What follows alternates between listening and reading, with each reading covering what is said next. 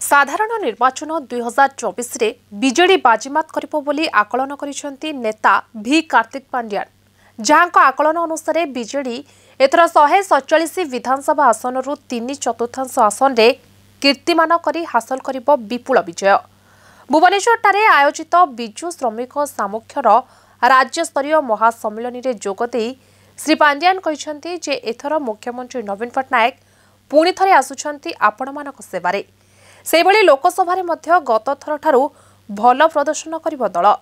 ସେଥିପାଇଁ ଲୋକଙ୍କଠାରୁ ଦୁଇଟି ଆଶୀର୍ବାଦ ଦରକାର ଗୋଟିଏ ବିଧାନସଭା ପାଇଁ ଓ ଅନ୍ୟଟି ଲୋକସଭା ପାଇଁ। ପ୍ରାର୍ଥୀକୁ ନ ଦେଖି କେବଳ ନବୀନ ପଟ୍ଟନାୟକ ତଥା ଶଙ୍ଖ ଚିହ୍ନକୁ ଦେଖି ଭୋଟ ଦେବାକୁ ହେବ। କାରଣ ଶହେ ସତଚାଳିଶ ବିଧାନସଭା ଓ ଏକୋଇଶ ଲୋକସଭା ଆସନରେ ନବୀନ ପଟ୍ଟନାୟକ ଏବଂ ଶଙ୍ଖ ଚିହ୍ନ ହିଁ ଲଢ଼େଇରେ ସାମିଲ ହୋଇଛି ବୋଲି କହିଛନ୍ତି ପାଣ୍ଡିଆନ।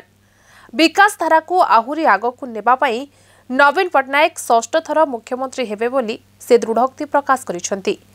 ମୁଖ୍ୟମନ୍ତ୍ରୀଙ୍କ ବିଚାରରେ ସଶକ୍ତ ଓ ନବୀନ ଓଡ଼ିଶା ଗଠନରେ ଶ୍ରମିକମାନଙ୍କର ରହିଛି ସବୁଠାରୁ ଗୁରୁତ୍ୱପୂର୍ଣ୍ଣ ଭୂମିକା। ସବୁ ବିକାଶ କାମ ପଛରେ ରହିଛି ଶ୍ରମିକଙ୍କ ଛାଇ। ସେଥିପାଇଁ ମୁଖ୍ୟମନ୍ତ୍ରୀ ସବୁବେଳେ ଶ୍ରମିକମାନଙ୍କୁ ଦେଇ ଆସିଛନ୍ତି ପ୍ରାଥମିକତା ଓ ସମ୍ମାନ। ମୁଖ୍ୟମନ୍ତ୍ରୀ ନବୀନ ପଟ୍ଟନାୟକଙ୍କ ପିତା ବିଜୁ ପଟ୍ଟନାୟକ ଗୋଟିଏ ସମୟରେ ଏଗାର ଟଙ୍କାରୁ ପଚିଶ ଟଙ୍କାକୁ ଦୈନିକ ମଜୁରୀ ବୃଦ୍ଧି ପାଇଁ ନେଇଥିଲେ ଐତିହାସିକ ନିଷ୍ପତ୍ତି। ଏବେ ମଧ୍ୟ ନବୀନ ପଟ୍ଟନାୟକ ସର୍ବାଧିକ ଶହେ ଟଙ୍କା ମଜୁରୀ ବୃଦ୍ଧି କରି କରିଛନ୍ତି ରେକର୍ଡ। ସରକାରଙ୍କର ବହୁ ବିଭାଗ ନଥିଲେ ଶହେ ଟଙ୍କା ମଜୁରୀ ବୃଦ୍ଧି ସପକ୍ଷରେ।